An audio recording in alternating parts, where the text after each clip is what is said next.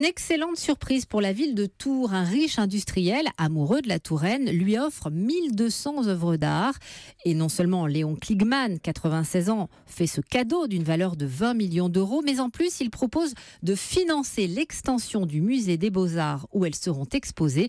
Cette donation, Chanel Petit, c'est du jamais vu à Tours. Oui, la collection de toute une vie en fait. Des peintures italiennes, des sculptures africaines, des poteries japonaises. De quoi faire le bonheur de Sophie Jouin-Lambert, directrice du musée des beaux-arts de Tours. Des grands noms, des artistes qui ont vraiment marqué la fin du 19e siècle et le début du 20e siècle.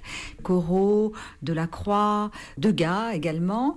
Donc c'est vraiment tout un ensemble qui ensuite sera déposé à la ville de Tours pour son musée des beaux-arts. Seul problème, pour abriter une telle collection, il va falloir pousser les murs. Alors en plus de ces œuvres d'art, les Kligman ont fait un chèque de 5 millions d'euros pour financer la construction d'une extension du musée.